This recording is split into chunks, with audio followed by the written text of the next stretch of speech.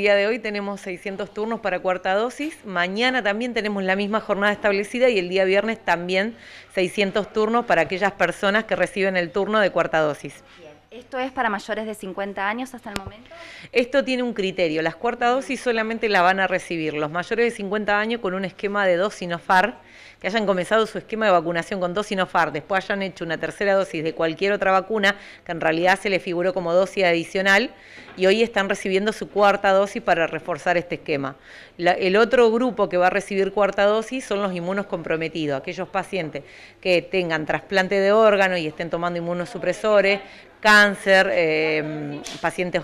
o pacientes oncológicos o que esté tomando algún tipo de inmunosupresor por cualquier patología que, necesite. Eh, en este caso sigue siendo la misma modalidad, los turnos llegan a través de, los celulares. Sí,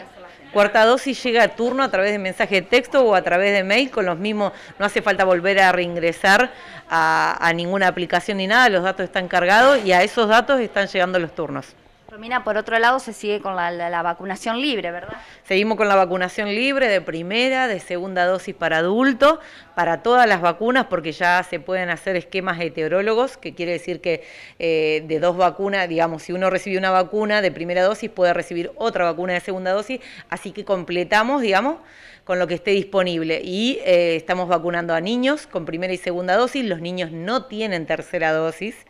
los adolescentes con primera y segunda dosis y con tercera dosis aquellos adolescentes que ya tengan los 120 días cumplidos entre la segunda y la tercera.